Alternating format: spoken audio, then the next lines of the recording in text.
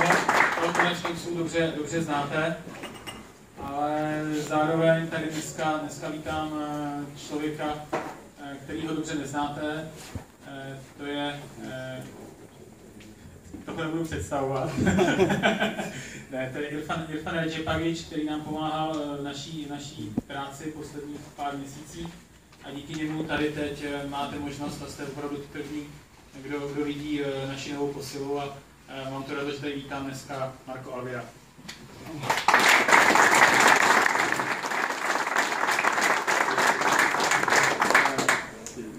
Můžete sednout, Marko. Eh, Marko, Marko přišel z Domžale, ten jeho příchod byl už nějak takže my jsme velmi rádi, že se nám dneska to podařilo dotáhnout a teď Tomáš podepsal smlouvy, takže právě teď je ten okamžik, kdy to máme vlastně, vlastně, vlastně hotový. Eh, já říkám, mám, z toho velikou radost, eh, nebylo to, nebylo to úplně jednoduchý.